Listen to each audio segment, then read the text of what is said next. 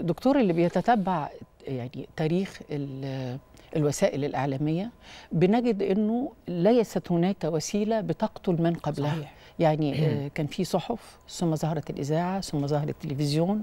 الراديو. ثم الآن طبعا دلوقتي المسألة اختلفت وهناك اختراعات كثيرة. لكن المتتبع لهذا التاريخ بيجد أنه ليست هناك وسيلة إعلامية بتقضي على من قبلها لكن بيحصل نوع من الدمج ونوع من التطور الثنائي يعني. صحيح هي دي الفلسفة اللي يجب أن ننطلق منها في التعامل مع الإعلام والصحافة و...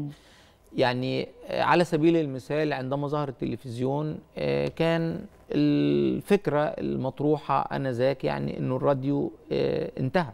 لكن ما حدث أنه ما زال الراديو قائم بل بالعكس بيشهد رواج وما زال التلفزيون قائم. نفس الأمر فيما يتعلق بالصحافة. كان الشكل الرئيسي هو الصحافة المكتوبة. ثم تحولنا إلى يعني صحافة إلكترونية وبالتالي ظهر جدال أو سجال حول يعني هل الصحافة الورقية انتهت؟ هل لكن في الحقيقة طبعا أنا مقتنع تماما بأنه التكامل سيظل قائم لكن العبقرية هي في فلسفة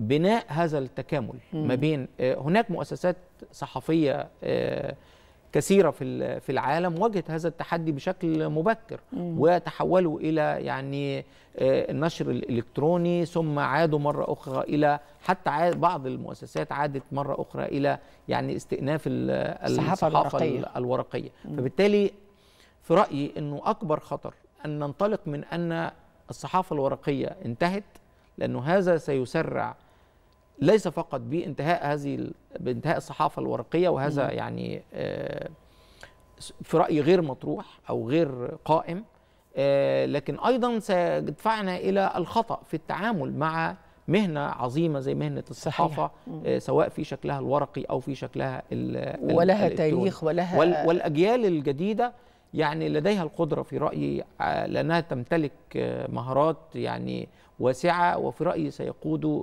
عملية هذه عملية التأقلم أو عملية التكامل أوه. التي تجري بالفعل يعني ليس الآن لكن منذ سنوات هناك عملية تأقلم ويعني تجري بشكل منظم م. سواء فيما يتعلق بوسائل وأشكال النشر أو فيما يتعلق بمصادر التمويل إلى آخره. عملية التأقلم بدات بدأت بالفعل وأعتقد إنها ستسير بشكل أكثر سرعة في المرحلة المقبلة.